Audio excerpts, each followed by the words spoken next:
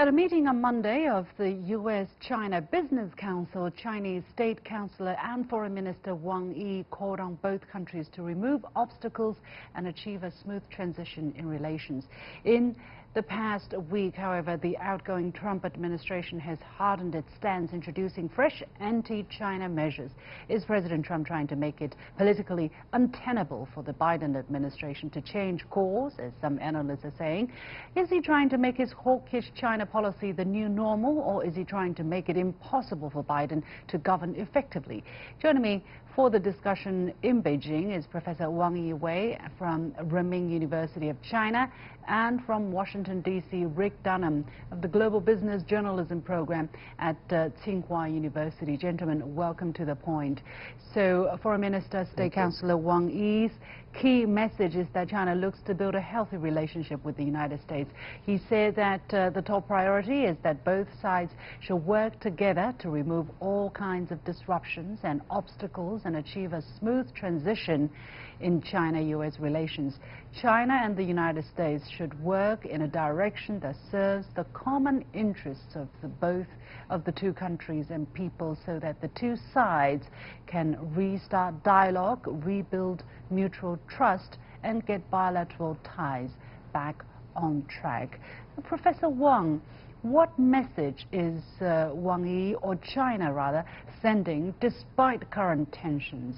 What about the damage that has already been done to bilateral ties? I think it's very clear that uh, the Chinese side want to reset the relations with the United States, uh, which uh, was uh, showed in the shadow by the Trump administration in the past four years. So globalization, we will continue to uh, do business with the United States. We can reform the globalization. Uh, well, of course, there's competition, uh, but this is a competitive, uh, competitive cooperation with the United States. What about the damage that has been done to bilateral ties? Is China ready to overlook these damages and say, okay, let's put our differences aside, let's try to rebuild things?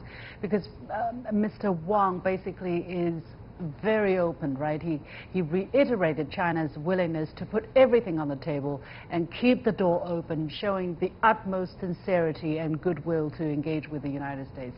Mr. Wang. Yes, the damage is very uh, serious uh, to the China-U.S. relations. Uh, even uh, Trump left uh, uh, the White House the Biden doctrine or the Biden reason, uh, sorry, the Trump reason are still there. So that's very important because he still Uh, they got uh, more than uh, 70 uh, million, uh, you know, voters, which against the globalization. the Biden, the, as in behind it, Biden is Wall Street. Silicon Valley is a supporter of the globalization, which also looks to the Chinese open reform, particularly for the financial reform. but still, the Biden will be a very weak president in his maybe in the one year coming. He, his priorities want to deal with the domestic challenge uh, the, uh, the, uh, the, situation, the pandemic, and also economic, and also the dividing society, and also climate change. China can work together with the United States. on some many tough issues, we cannot help so much. Hmm. Rick, what is your take on China's repeated and persistent message that we want to talk, we want to keep the door open. Uh, China said that to the Trump administration last year, and China is reiterating this message, I believe, to the incoming Biden administration.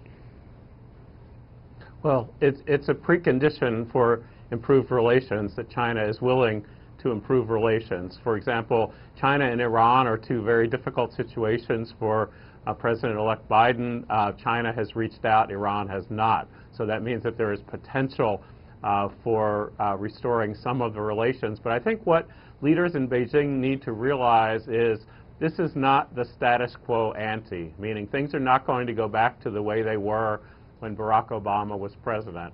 I mean, things have happened in China and in the world uh, from the pandemic uh, to what's happening in Xinjiang and Hong Kong and Taiwan.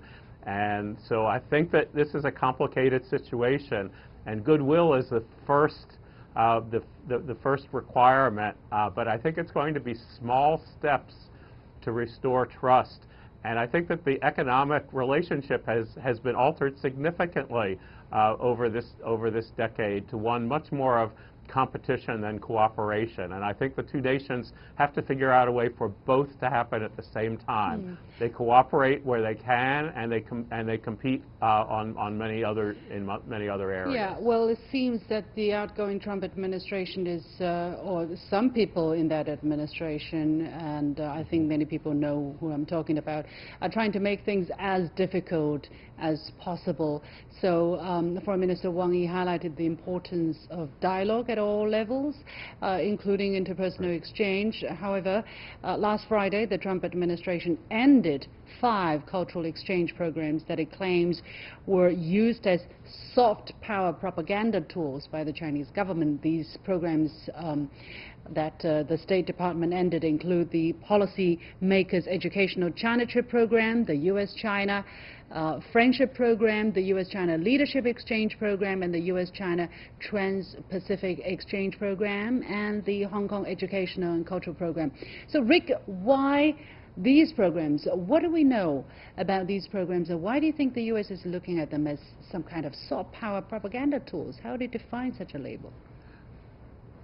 Well, I, I, anything soft, soft power uh, and propaganda are, are, the positive and negative words to, to describe the same thing.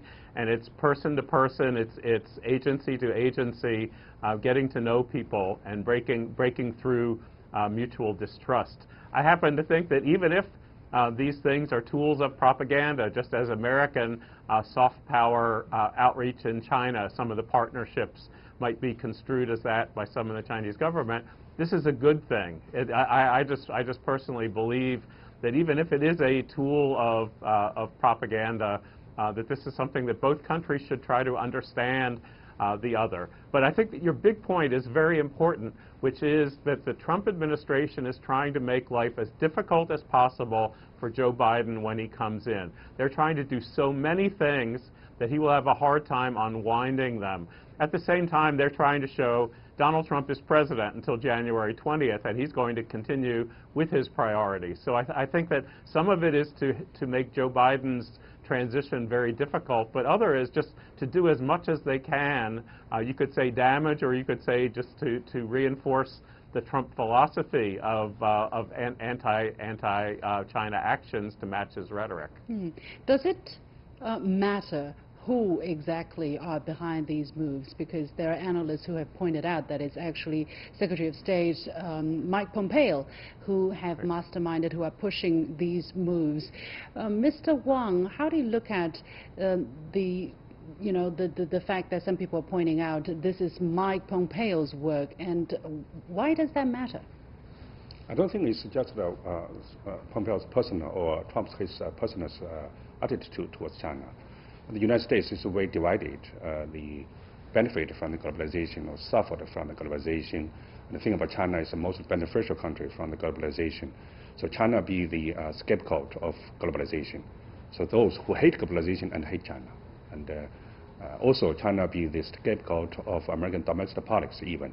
Uh, so many uh, difficulties that they want to find China as a target. actually, like the Trump in the past uh, four years, uh, the trade war, all these cannot solve the U.S. Uh, domestic problems. So, but they need the target, need scapegoat. Hmm. So you're actually saying that um, it doesn't really matter whether it is one single person or a few person of that administration. It reflects the uh, the idea of uh, quite a sector of the U.S. population, or politicians at least.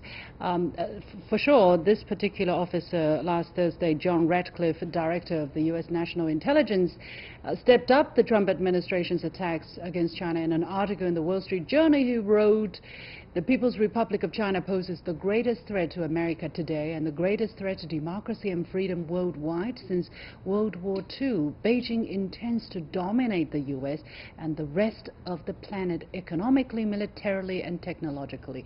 Many of China's major public initiatives and prominent companies offer only a layer of camouflage to the activities of the Chinese Communist Party. Rick, how do you look at the timing of such rhetoric of such an article, and what do you make of his remarks? Well, first, what you have to realize is this represents the Trump philosophy. And with China, you have uh, Ratcliffe and Pompeo. But the same kind of thing is happening with civil rights, with the environment. Uh, he, is a, he has empowered people who tend to be pretty extreme to do as much as they can between now and January 20th. I mean, I, I, I think the Ratcliffe speech is more significant than some of Pompeo's remarks because it's so over the top. I mean, whatever you think about the challenges that the Chinese government uh, and the Chinese economic growth uh, places on the United States, to say this is the biggest threat to world peace and freedom since the Second World War is way over the top. I mean, if, if, if you talked about the Cold War and the Soviet Union, that was, that, that was a government that wanted uh, worldwide revolution.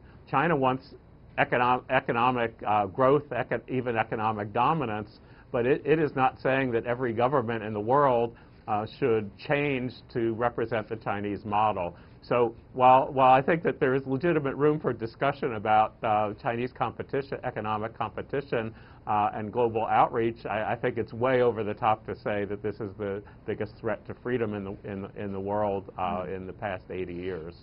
Professor Wang, how do you look at uh, what's going to come over the next few weeks until inauguration day for Joe Biden? People are calling this uh, the scorched earth uh, tactic of the Trump administration, leaving everything uh, destroyed, burning everything that's, uh, that could be useful for the enemy while they retreat. What do you think of that? Uh, I think it's not just Trump's so-called legacy be the obstacle for Biden to restart relations with China. Uh, I think his supporters, uh, the, uh, the United States, actually very nervous about China because of the pandemic to show that the Chinese uh, political system is the most efficient to control the pandemic, and also the Chinese circular uh, civilization, that uh, we are not so much like the United States to think about the so-called privacy, and they think about the God bless. So that reason, I think they, and also digitalized, this makes the U.S. I think is very nervous about that. This year, uh, China's GDP will pass the United States more than 70%. Next year will be 75% uh, because China's economic growth will be reaching more than 8%. Uh, uh, by 2035, according to our uh, long-term uh, plan, maybe the United States GDP by 2035 will be the 75% of China.